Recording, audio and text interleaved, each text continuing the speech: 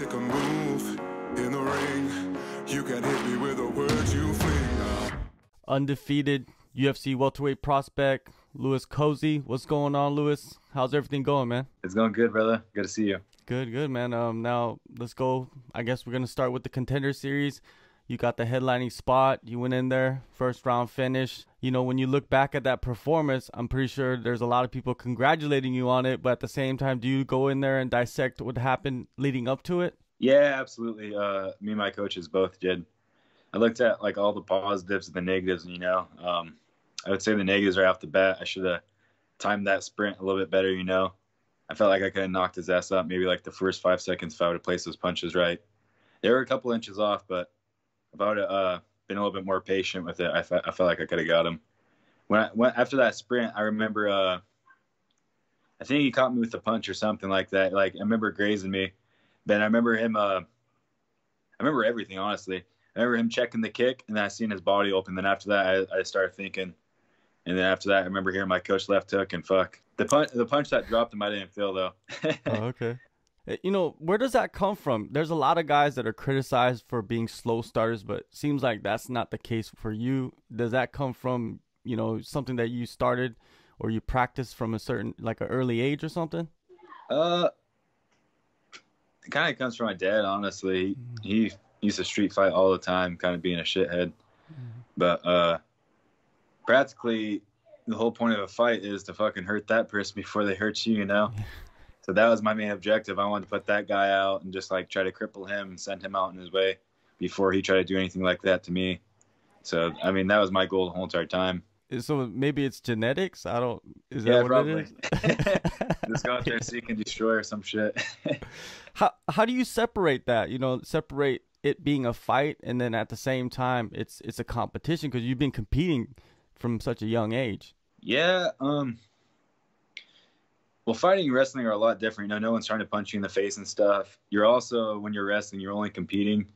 You're doing it for like for the love of the sport and stuff, like against other kids. You're not getting paid, you know? Like this, this is my livelihood now. I'm trying to support my family, so there's a lot more on risk and um a lot more uh like more of your reputation on the line. You know, you always want to look good, you always want to fucking feel good out there. But I feel like when you go out there and like you when you're aggressive, nobody can really doubt you. You know, you can't I don't want to at the end of the fight be like, fuck, I should have did this or I should have did that. I should have like sprinted right here. I should have tried to hit him my hardest or something. So I, I try to leave it all in there. Um, I, I, I wouldn't really care if I didn't knock him out or if I could have won by like decision or just mauled him or submitted him. You know, a win's a win. But I definitely like to try to knock these guys out just because it's a fight. I don't I don't feel like these guys move that well or anything like that. All right. Well, you know, when when a contender series guy gets signed, they usually put him against a, a veteran. But for you, it's not that case. Was it was it difficult for them to match you up, or I don't know? Yeah, like, what was the process? Four people tell me no. Oh, really? Yeah, that's fucking right back to back to back. I thought, I thought a couple of them were gonna say, yeah. Uh, I said a while ago. I asked. I remember asking my manager. I was like, "Is it right if I post something about this? Like, I'm gonna fight?" He's like, "Yeah, yeah, yeah. We're on, we're on." And then I say something, and like a week goes by, and I'm like, "Shit, brother. Like, can I, get a contract like to sign or something? Can we can we get this going?" And the fucking guy pulls out, fucking saying he's injured or some shit. Next guy, pretty much, they say no.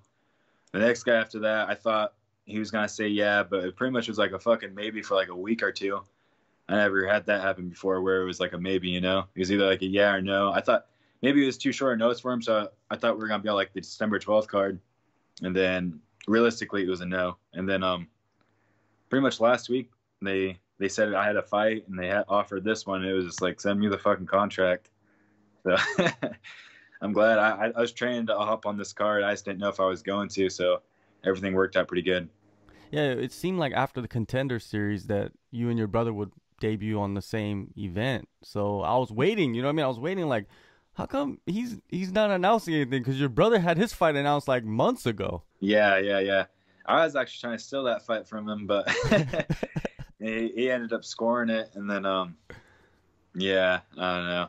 It, it took a second, man. I fucking I don't really understand. There's a lot of politics. It seems like in the sport, a lot of people are afraid to go out there and just throw hands or whatever. But I'm trying to make a name for myself, so whoever they throw in front of me, I'm definitely gonna try to lay out. Yeah, it seems like nowadays more than any that's what you need to do because if you see some of the guys that are fighting right now that just fight and fight and fight and win, Yeah, they get rewarded.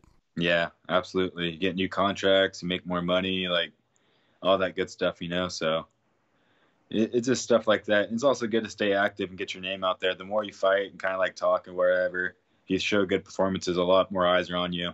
And the more eyes, the better, really, for this sport because it's an entertainment too. Yeah, well, let's talk about your opponent, Sasha Palatnikov, UFC 255, a big event. Thoughts on him in the matchup? I like it, man. Um, I'm happy he took the fight. He looks like a tough dude. He, I think he has a couple of inches on me, just like Victor Reina did. Um, other than that, though, uh, it's nothing I've never seen. You know, I fucking trained with a lot of good dudes. Um, yeah, um, I'm not really worried about anything. Definitely respect the guy for taking the fight.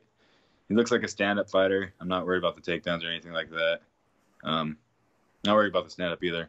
I feel like I'm gonna go out there and knock this fucking guy out, but I got more than talking about. it, I gotta go out there and show it and prove it.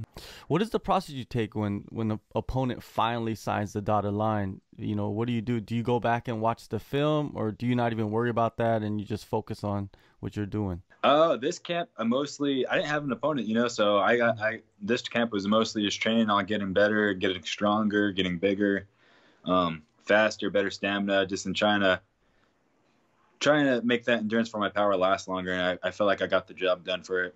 I, I'll be able to show everybody Saturday night, but uh, yeah, when I got this guy, I definitely did my homework. That's for sure. I mean, I accepted right off the bat. I was fucking trying to get the contract immediately. But I definitely do my homework on people, and I feel like that's a huge part of my success, you know. And I'm sure their teams watching me too, or whatever. I, I like to watch myself as well and see where uh, dissect myself, where they think they're gonna try to fuck me up, or where I where I think I'd be able to catch myself. So, but I definitely do my homeworks on the people, and then I feel like I, that's where I can catch them and find their openings. With this fight, I noticed that it's at welterweight, and I, I, I felt that last time we spoke, you were gonna go down the lightweight. But what what was the plan? What happened? Uh, fucking went to the UFC PI, and they pretty much just told me it's gonna be a tough cut always. And they're like, you're just gonna have to change your body type and what that. And I was, I'm good. I was fucking like zero percent body fat. I'd be like 165 pounds still. So I was like, ah, I'd rather just fucking just lift and get bigger. You know, I, I haven't really uh, lifted before like consistently or stay true with it. And I was kind of holding myself back a lot too. Um, I was fasting a lot. I'd fast until like three or four, and then fucking start eating. It just kind of became a habit.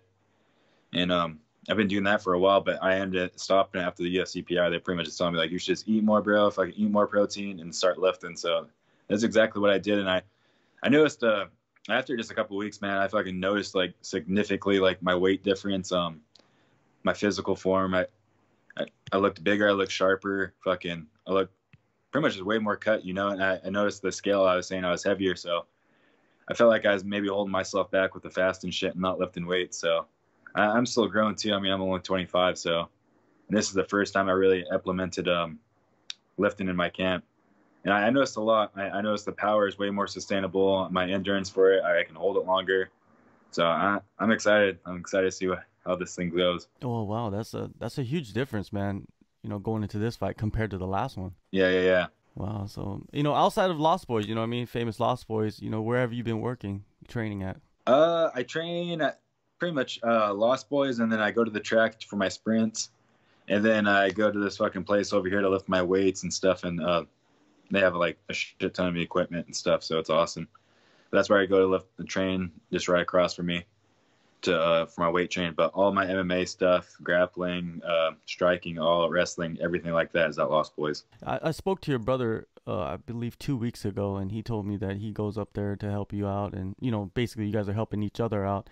Uh, Yeah. How come you haven't been going over to uh, Team Alpha Male? It's just too far for you to make the drive. Yeah, it's like a five hour drive for me. And I, I got a kid and a family and shit. So, I mean, I'd love to, but at the same time, I, I get really good work up here. I get like one on one, you know? I mean, down there, it's, it's good work too. You get to work with a lot of different bodies, a lot of different types of people. Up here, I, I kind of get focused more on like jiu jitsu and my grappling. And then uh, my striking for sure. Like, this one on one time just over and over and over. So, I feel good up here. Yeah, yeah. Well, I guess it's that's the new. I don't know if it's the new wave of of training, but you know, having the camp around you instead of being Yeah. one part of a a machine of a big team or something like that. Yeah, yeah, yeah. I feel like when you're part of this big teams, you don't get that one-on-one attention. You know, you're kind of just like you're part of the team. You know, you're working with some good bodies, but you never get that one-on-one treatment. You have to like go out of your way to find that. But for me, it's like I'm the only guy that made it to the UFC around here. I'm kind of like I'm not the only pro, but my my team bases a lot on me because they're all kind of like fucked right now because this COVID stuff. They're they're not getting fights, but they're all still training and helping me. So it's good because it's the camps are based around me, and we just do these break me days where it's like just throw a new body in every two minutes, every round. You know, these guys can just sit back and fucking start fucking me up and making sure I can, I'm ready. Who are your uh, partners, man? Give us some love. Uh, I got quite a few, man. Um, I got my coaches, Brian Blackburn, Brian Wilson. I got my teammates, uh, Alex, Ross, Andrew, Jacob, Austin. Uh, these new kids, the Rosa brothers. We, we have a lot of talent up here. Talent. Uh, this kid named Tyler. Sometimes my brother will come up. So I mean, we have a pretty good, decent sized team. I I feel like you guys are gonna start hearing their names here eventually after this whole COVID shit passes. You know, and they'll they'll finally get their opportunity and chance at this whole fight game. I, I feel like I was just blessed at the right opportunity with my record. You know. Thank Well, God for the names- UFC keeping this. Those are names we'll probably see on the contender series in the future. Then, Yeah, absolutely. Do I your 'em. coaches go in there and, and, and spar with you also? They're they're not just on the sidelines. Uh, my grappling coach will uh he'll come out and grapple for sure. Mhm. He's a big guy, so I get to uh, feel the strength and the pressure for sure. So he's a 6'2", 300 pound guy that used to play football back in the day. He's a black belt. I mean, he's a fucking tank. And then That's my uh, other coach, he's a Muay Thai. He used to train uh, back in the day with Buakaw, and uh, Mhm. he used to live over there in um, Thailand and shit. He has like 24 years of experience. He doesn't really spar. He does uh, technical sparring. He, he's just kind of a little bit older now. You could tell he feels it, but he's fucking awesome on the pads. He's has a fucking doctor's degree in kinesiology. He's a professor at HSU.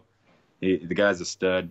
Really fucking. He has so much knowledge in the sport. You, he's a he's an awesome coach.